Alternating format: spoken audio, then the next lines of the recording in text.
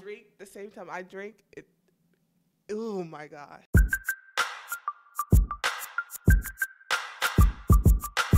Hi, I'm Shelby Minetti, tuning in with LMU Sports Network, and I am sitting here with one of our women's basketball freshmen, Brittney Reed, number 31. What do you think's been the biggest adjustment for you? Having a college practice, adjusting to, I guess, high level players. How about the workouts? Way more running than I guess my senior year. If you could trade places with another LMU athlete, what would you be? I'd probably be a tennis player.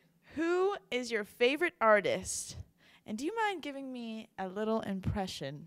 Drake. I know when. How I bling. It, dun it, oh, second. Any other hobbies you have?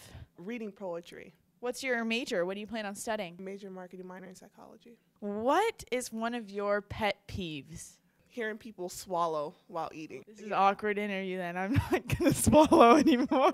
When people drink the same time, I pick up my cup. I don't think I'm going to sit next to you when we go on our team trips. If you could have one superpower, what would it be? Invisible. So I could go like sneak in an airport. Why would you want to sneak in an airport?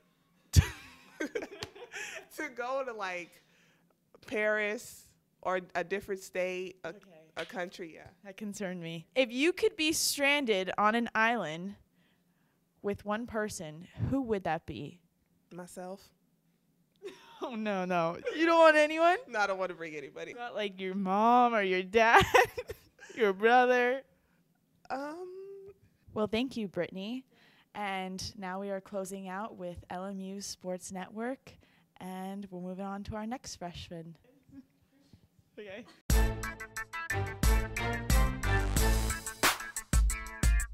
Yeah. that one.